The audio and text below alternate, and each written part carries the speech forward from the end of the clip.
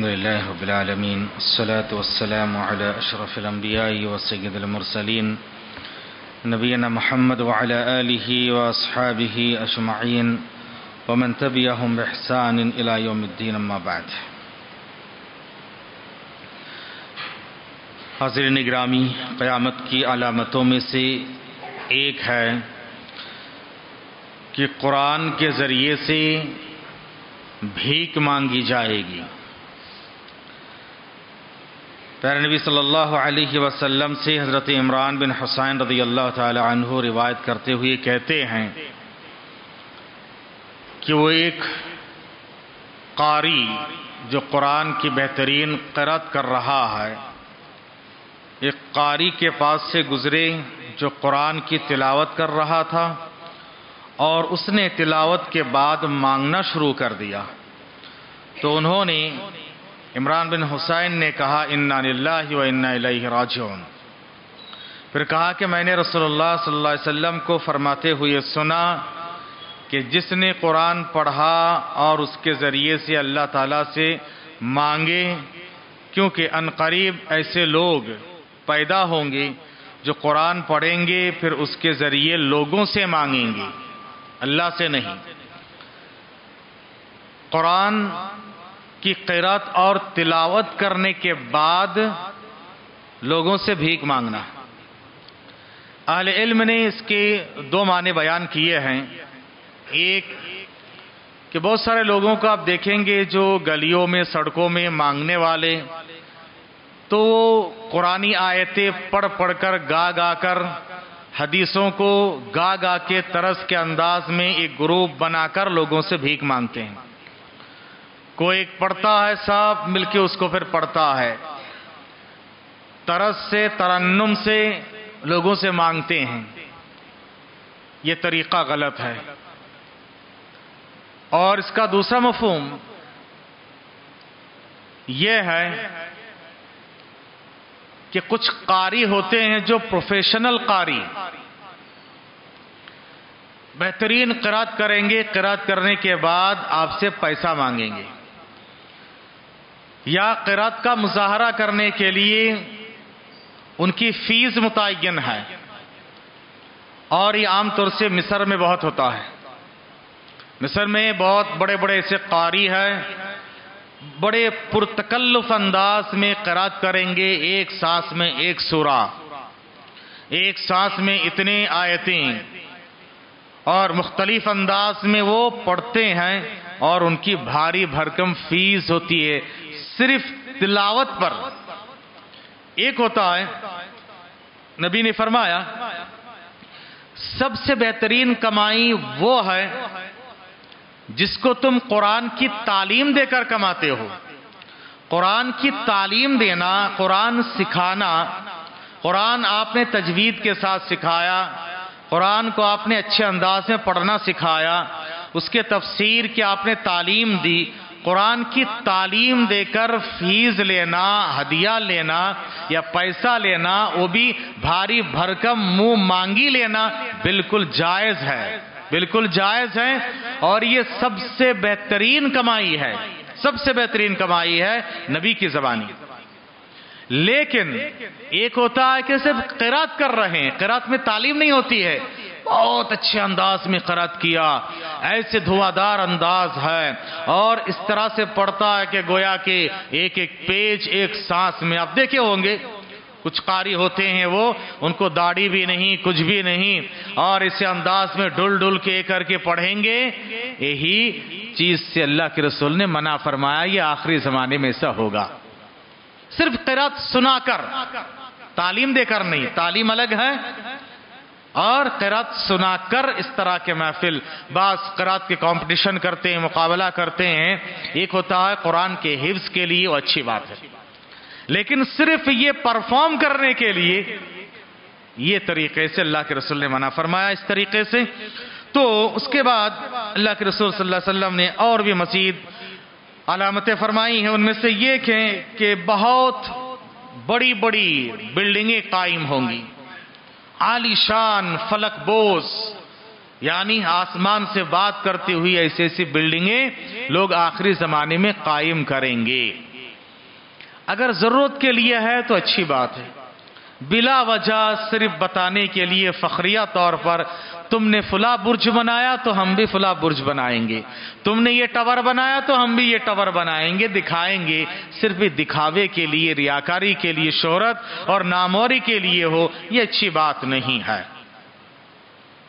फिर उसके बाद, अल्लाह के रसूल सल्लल्लाहु अलैहि वसल्लम ने भी फरमाया कि देखो, बाज़ार करीब करीब हो जाएँगे। पहले गाँव देहात के लोग इंतज़ार करते थे, हफ़्ते में एक दिन बाज़ार लगता था, उसमें सारे सामान खरीदते थे। आज तो गाँव देहात गाँव देहात नहीं रहा। हर गाँव में बाज़ार है, सब कुछ है। बाजारों का नज़दीक हो जाना, ये भी क़यामत की अलामतों में से एक अलामत है। और जैसे कि मैंने शुरू में अर्ज़ किया कि हर अलामत गलत नहीं है। बड़ी बड़ी इमारतें बना रहे हैं, ज़रूरत है, कोई गलत तो नहीं है। बाज़ार नज़दीक हो, हो चुके हैं। अच्छी बात है कोई गलत नहीं है। लेकिन आखिरी जमाने में ऐसे कुछ तब्दीलियाँ रोनुमा होंगी। जैसे और एक चीज़ ये कोई बुरी चीज़ नहीं है गरीब अमीर बन जाएँगे। प्यारे नबी सल्लल्लाहु अलैहि वसल्लम से वो जो हदीस जिब्राइल है कि पूछा गया कि क़यामत की अलामतें क्या हैं जहाँ आपने फरमाया कि लौंडिया आकाओं को जन्म देगी हमने कल उसके ताल्लुक से तफसीली मालूम हासिल किए। आपने ये भी फरमाया कि तुम देखोगे ऐसे लोग जिनको एक जमाने में कपड़ा मयासर नहीं था, चप्पल नहीं, नंगे पैर, नंगे जिस्म चला करते थे, गधे की सवारी करते थे, बकरियाँ चराया करते थे। बकरी, बकरियों के चरवाहों को आप देखोगे, आलीशान बिल्डिंगों में दादे आयश देते हुए, आलीशान बिल्डिंगों में वो होंगे। और बेहतरीन सवारियों में वो लोग घूमेंगे। अच्छी मतलब बुरी चीज़ नहीं है। चलो ठीक, अच्छी बात है। ये चीज़ अगर आप देखोगे अब अरबों से ही ले लीजिए। एक जमाना था, इनको कपड़ा मैसर नहीं था। चप्पल नहीं, कुछ नहीं। आज देखो कैसे कैसे आलिशान बिल्डिंगों में रहते हैं, कैसे इनके लाविश लाइफ है हाँ? और अगर आप यहाँ की बात करेंगे यहाँ मैं आपको सिर्फ़ कर्नाटक की बात कर देता हूँ और बेंगलोर की बात कर देता हूँ। आप वैसे जो कदीम है यहाँ, वो देखे होंगे। मैंने खुद देखा है, हेगड़े नगर में जब जामिया मोहम्मदिया में मैं शुरू में पढ़ाने आया 2002 में आज से 20 साल पहले की बात है, हमने देखा कि बास ऐसे लोग बकरियों को चरा रहे थे हाफ़ चड्डी पहनकर, जिसम में कपड़ा नहीं, एक टवल कंधे पे। हाँ उसके बाद क्या एयरपोर्ट उस तरफ़ आया? ज़मीन की कीमत बढ़ गई। एक जमाने में यह था, हमने देखा कि मदरसे के बच्चों को अगर दस रुपया दे देते तो जाम के पूरे बाग छोड़ देते, जा ले कितना खाना खा ले। पपाया, जाम, जो भी है, सिर्फ़ दस रुपये में। वो दस रुपये उसके लिए बहुत बड़ी बात थी। हाँ ज़मीन के मालिक तो थे, लेकिन कोई पैदावार उसमें नहीं, कभी हुई है तो ठीक है। लेकिन अब देखो, जब शहर की तोसी हुई, एयरपोर्ट उस तरफ़ आया, एक जमाना था, वहाँ पर 2002 की मैं बात कर रहा हूँ, उसके बाद भी एक दो साल ऐसा रहा कि लबे सड़क 30 40 कोई बीस हज़ार में लेने वाला नहीं है। आज जाओ 50 लाख से ज़्यादा है। लबे सड़क की बात करें, करोड़ की बात है। जब इस तरह की बात हुई, अब जाकर देखिए, वही आदमी। अब जाकर देखिए कि उसके पास कितने कार है कितने बंगले हैं और कैसे रहते हैं। हाँ एक जमाने था यहाँ के लोग ऐसे थे। हर जगह अप, अपने अपने इलाके में भी देखेंगे। मैं यहाँ की एक मिसाल दिया किस तरह की बातें होंगी। अगर वो लोग इसका सही इस्तेमाल करें तो अच्छी बात है। और अगर दौलत आने के बाद शायर की जबानी तेरा अंदाज तकल्लुम मुझे कह रहा है कि दौलत नई नई आई है। हा? बस समझ में नहीं आई है। तेरा अंदाज तकल्लुम, बात करने का अंदाज ऐसा है कि लग रहा है कि दौलत नई नई आई है। हाँ जो खानदानी होते हैं, उनके अंदाज ही पहले से भी अलग होता है, लेकिन अभी नई नई दौलत आई है तो अंदाज कलाम बातचीत करने का अंदाज, स्टाइल बदल जाता है। ऐसा नहीं होना चाहिए। आखिरी जमाने में कत्ल गारत गरी बहुत ज़्यादा हो जाएगी। इतना कत्ल होगा, इतना कत्ल होगा कि कातिल को पता नहीं चलेगा, मैं इसको क्यों मार रहा हूँ? मकतूल को मत पता नहीं चलेगा, मुझे क्यों मारा गया? हाँ? ये हालतें हैं आज। जा रहे हैं लोग, अचानक बम ब्लस्ट हो गया। मर गए। जो जो मर गए, उसको पता नहीं मुझे क्यों मारा गया, है नहीं? मुझे क्यों मारा गया, मेरा कसूर क्या है पता नहीं। और जो मारा है, उसको भी पता नहीं, बस बम फिट करके चला गया। ये इस्लाम का तरीका नहीं याद रखो। इस्लाम का तरीका नहीं है। इस्लाम इसको कती तौर पर इसके फेवर में नहीं है कि इस तरह से सुसाइड बॉम्बिंग और आवाम को तकलीफ़ देना, परेशान करना, इस्लाम की निगाह में ये बिल्कुल जायज़ नहीं है। आपको जिनसे प्रॉब्लम है उनसे डायरेक्ट बात करें, अल्लाह से दुआ करें, सबर करें, लेकिन गलती किसी आओ ने की और सजा दे रहा है आवाम को, ये अजीब बात है, ये बिल्कुल सही नहीं है। तो आखिरी ज़माने में ये बात होगी। कत्ल आप देखो, आप पेपर निकालो, न्यूज़ देखो, फला जगह पर उसका मर्डर हुआ, इसका कत्ल हुआ, वहाँ बम ब्लास्ट हुआ या जंग हो रही है, वहाँ ऐसा हुआ है। और फिर नबी ने भी फरमाया कि देखो, अचानक की मौत भी बढ़ जाएगी। अच्छा भला इंसान है हट्टा गट्टा है रहते रहते अचानक इंतकाल हो गया अच्छा भला इंसान है हट्टा गट्टा इंसान है, अचानक दिल का दौरा पड़ा इंतकाल हो गया। ये अचानक की मौत बहुत हो जाएगी, अल्लाह अकबर। अल्लाह हिफाजत फरमाए, जो हमने सेकेंड लॉकडाउन में और कोरोना के सेकेंड वेब में देखा है सुबह अल्लाह हर सुबह उठते ही व्हाट्सएप अगर आप खोलो तो ग्रुपों में फुला का इंतकाल, फुला का इंतकाल। अचानक कल अच्छा बात की, आज नहीं है, कल हॉस्पिटल गए, आज नहीं है। अल्लाह अकबर, अल्लाह हिफाजत फरमाए। ऐसे हालतें शायद किसी को ज़िंदगी में देखनी पड़ी, लेकिन नबी ने कहा कि ये हालतें होंगी। अचानक की मौत। और नबी अचानक की मौत से पना मांगे हैं। पना मांगे हैं। क्योंकि अचानक आदमी मर जाए, तोबा का मौका नहीं मिलता है। उसको मौका नहीं मिलता है। इसीलिए नबी दुआ करते थे अल्लाह में इन आउदिका मिन फुज अतिल मौत अल्लाह, अचानक की मौत से बचा ले। हमारी सोच क्या है? कोई इंसान बहुत दिनों तक बिस्तर मर्ग पे हैं और बहुत तकलीफी उठा रहा है, परेशान हाल है तो हम समझते गुनेगार है, बहुत गुनाह किया है, देखो अल्लाह सजा दे रहा है। कोई ज़रूरी नहीं मेरे भाई, कोई ज़रूरी नहीं। अच्छे अच्छे निकोकार, मुत्तकी परसगार कितने भी मार रहे हैं, कितने भी मार रहे हैं।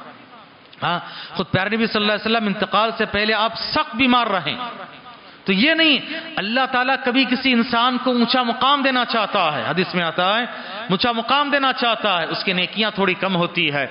अल्लाह उसको मौत से पहले तकलीफ़ में मुबतला करता है, उस पर वो सबर करता है, अल्लाह उसके बदले में वो ऊँचा मुकाम देता है। बंदे को ऊँचा मुकाम मिलता, वो कहता, अल्लाह, मेरी नेकियाँ तो इतनी नहीं थी। कहा कि, मैंने तुझे तकलीफ़ से दो चार किया, उस पर तूने सबर किया, उसके नतीजे में ये अजर है। सबर पल पल इबादत का मौका देता है। सबर, आपको मुसीबत, तकलीफ़, परेशानी आई है। पल पल सबर कर रहे हैं। पल पल आपको इबादत का अजर दे रहा है अल्लाह ताला क्योंकि अल्लाह ताला सबर करने वालों को बेहिसाब अजर देता है। तो अचानक की मौत बहुत बढ़ जाएँगी। फिर उसके बाद एक आखिरी बात क्या कर आज खत्म करते हैं। फिर इंशाल्लाह मैं एक दिन में इंशाल्लाह जो छोटी अलामतें ख़त्म करके जो अहम बड़ी बड़ी अलामतें, ये आम तौर से रह जाती है। दज्जाल का बयान, महदी का जहूर, जिस ताल्लुक से गलत फहमियाँ बहुत होती है याजूज माजूज हैं। फिर इसी तरह से आखिरी ज़माने में जो और बड़ी बड़ी अलामतें होंगी, उनके ताल्लुक से इंशाल्लाह मालूम करेंगे। नबी करीम वसल्लम ने फरमाया कि पहली रात का चाँद बड़ा नज़र आएगा। पहली रात का चाँद बड़ा नज़र आएगा। लोग पहली रात का चाँद देखकर कहते कि दो दिन का चाँद है। लोगों को पता नहीं है। हाँ ये सब गलत है, हम हक पे हैं। पहली बात आप याद रखिए चाँद का मसला हमारे और आपका नहीं है। और आप जिस पर अमल पैरा है, उसके शब्द मत के साथ हर नमाज़ में, हर वक्त, साल भर उसकी तबलीग होती है तो उसमें कुछ नहीं है। हम जिसको सही समझते हैं, उसकी अगर हम तबलीग करें तो हम मुझे टारगेट किए। हमारे खिलाफ बोले, उनके ये किए। इतनी खिचड़िया पकती है जिसकी हद नहीं है। क्यों भाई? आपको हक है तो हमें हक नहीं है। बहरहाल याद रखिए, ये मसला आवाम का नहीं है। ये हाकिम वक्त, काजी वक्त और उलामा से मुतक मसला है। आवाम को इसमें अकल और दखल देना, ये वक्त का ज़िया है, वक्त की बर्बादी है। और दूसरी चीज़, सिर्फ़ चाँद को देखकर ये दो दिन का है, ये आखिरी जमाने की अलामत है कि पहले दिन का चाँद, पहली रात का चाँद बड़ा नज़र आएगा, बड़ा नज़र आएगा। प्यारा नबी सल्लल्लाहु अलैहि वसल्लम ने फरमाया कि देखो, मैंने अयुरल हिलाल, कि हिलाल को तुम देखोगे, इससे हैं कि लोग कहने वाले कहेंगे फ़ैक़ाल ये तो दूसरी रात का चाँद है। हाँ देखो नबी ने कैसे फर बहुत पहले फरमाया कहने वाले कहेंगे ये दूसरी रात का चाँद है इतना मोटा हो जाएगा इतना फैल जाएगा। अब बताइए ये चाँद कब निकलता है? मगरिब के बाद? चाँद निकलता मगरिब के बाद नबी ने कहा कि उसको देखकर कहेंगे ये दूसरी रात का है। तो इस्लाम जो इसके आगाज़ होता है दिन का आगाज़ होता है वो मगरिब के बाद ही। इसीलिए कहा कि ये देखो, ये दूसरी रात का है। बहरहाल तो ये जाहिरी तौर पर देखकर इसका फैसला करना बिल्कुल सही नहीं है। और जो लोग कहते हैं कि इस, ये हक और बातिल का मामला है, ये इनकी कोता फहमी है, कम अकली है, या कम इल्मी की दलील है। चाँद का मसला कोई हक और बातिल का मसला नहीं। यहाँ तक कह रहे हैं कि साहबी का कॉल है, अगर तुम हक पर हो तो तुम ही जमात हो। तो अब अपने ऊपर उसको फिट कर रहा है। हर आदमी अपने ऊपर फिट करते हैं। किसकी वजह से अगर जमात वाले गलत कर रहे हैं, हम जमात अलग से बना लेंगे। इसको बोलते फिरका बंदी इसको बोलते फिरका बंदी अलग से जमात बनाने का जो तस्वुर है, ये खारिजियत है और फिरका बंदी है फिरका वाराना है और ये बहुत ही खतरनाक सोच है अलग से जमात बनाना। तो गोया कि इससे पहले जो जमात थी, वो सब गलत है और नबी ने फरमाया कि एक जमात क़यामत की सुबह तक बराक रहेगी। तो गोया कि आप जमात के बागी हैं। जमात के बाकी हैं आप। और ये बहुत बड़ा मसला है। ये इतना बड़ा मनहजी गलती है। आपको अगर मनहज पता है तो आप सोच, ये बात बोलते ही नहीं थे कि अगर ये हक पे नहीं है तो हम अलग से जमात बना लेंगे। हम ही हक पर हैं। ये बहुत बड़ी मनहजी गलती है, याद रखो मेरे भाइयों। ये कोई हक और बातिल का मसला नहीं है। इसको बोलते हैं राज और मर्जू का मसला है। एक मसले में दलील दोनों के पास है। अब उसके बाद उस पर अमल पैरा कैसे होना है? क्या इसकी वजह से जमात से कट जाना, इसकी वजह से अलग से ईद मनाना, इसकी वजह से अलग से इख्तलाफ डालना, ये सलफ का कतई तरीका नहीं रहा। जो ओलामा जितने लोग इसके कायल हैं, उनका यही कहना है कि हम सबके साथ ही रहेंगे। हाँ मसले के हम कायल ये हैं। ऐसा होना चाहिए। जब तक सारी दुनिया वाले एक ना हो, उसको अपने अपने हिसाब से, अपने अमीर के ताबे उनको रहना चाहिए। तो चाँद का मोटा हो जाना, पहली रात का चाँद, लेसा लगना कि भाई ये दूसरी रात का चाँद है। ये क्यामत की अलामतों में से है। इसकी वजह से ये कहना कि एक दिन बाद है। अल्लाह तला से दुआ कि अल्लाह तबरक हमें और आपको नेक तोफ़ी कता फरमाए।